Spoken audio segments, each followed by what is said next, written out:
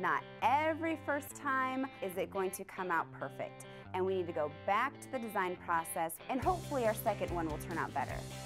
The engineering design process is the way for engineers to solve problems. Oh my god. It moved to the side. A Fab Lab is a terrific environment to learn and to exercise the engineering design process. It is a creative environment where people can come, design, and make almost anything that they can imagine. Not every design is coming out as anticipated. it doesn't really work right now. And so when you have to rework the project, the students really see the design process in action. It works. In the Fab Lab, students are going to be able to really extend their knowledge and their understanding of what an engineering career would be like.